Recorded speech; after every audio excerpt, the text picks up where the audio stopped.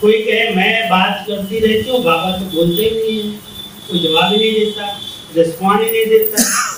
तो बाबा कहता है बच्ची, मेरे को ये तो मुख ही नहीं है, मेरे को ये कान भी नहीं है। मैं तुम्हारी बातों की भावनाओं को समझ के, भावनाओं के रूप में जवाब देता हूँ। जवाब मिलता है, लेकिन उसको कैच करने के लिए बहुत ही स्वच्छ, साफ़, भावनात्मक बुद्धि चाहिए। आवाज़ से सुनाई नहीं देगा कि बाबा का कुछ मुख से बोले कानों से कहे। कई बार, कई अनुभव हमने आपको सुनाए हैं।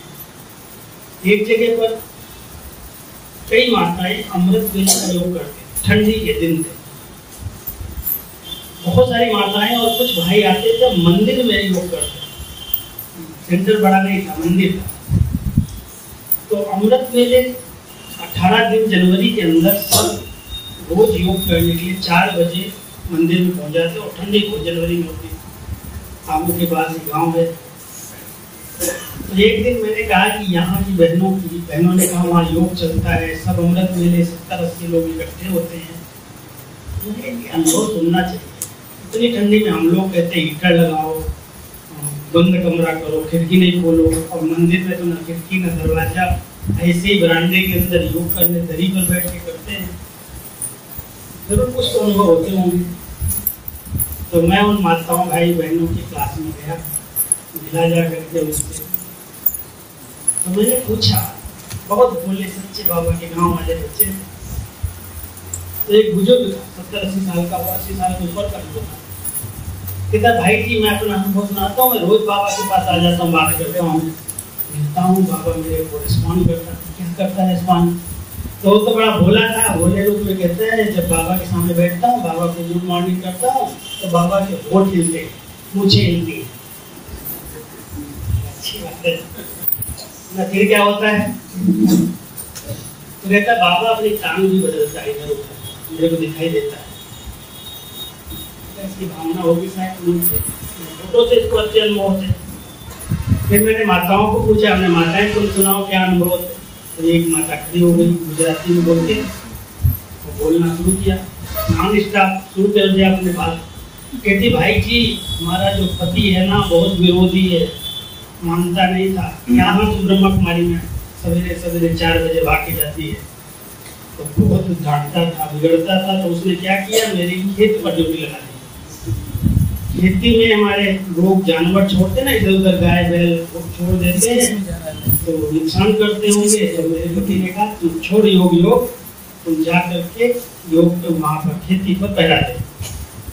तो मेरी पति ने मेरी ड्यूटी लगा दी, पहले पहले की कहते, नहीं, किसी को नुकसान होगा तो तेरी खैर नहीं।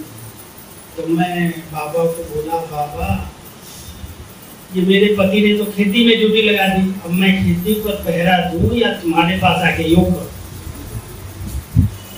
मैंने बाबा से बहुत जगह बहुत किया। रोई बाबा के कमरे में बैठ गई। बाबा, ये तो बहुत मुश्किल बात है। पहरा दूँगी तो कैसे सवेरे दूँगी तो कहती जब दूसरे दिन मैं रोज होकर के बाबा वहाँ गई खेती पर। गई तो जाना पड़ेगा, नहीं तो डांटेगा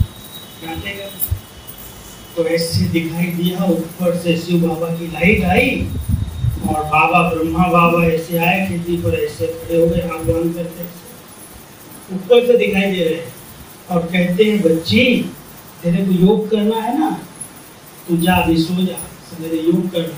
अब मैं तेरे खेत पर पहला दूँगा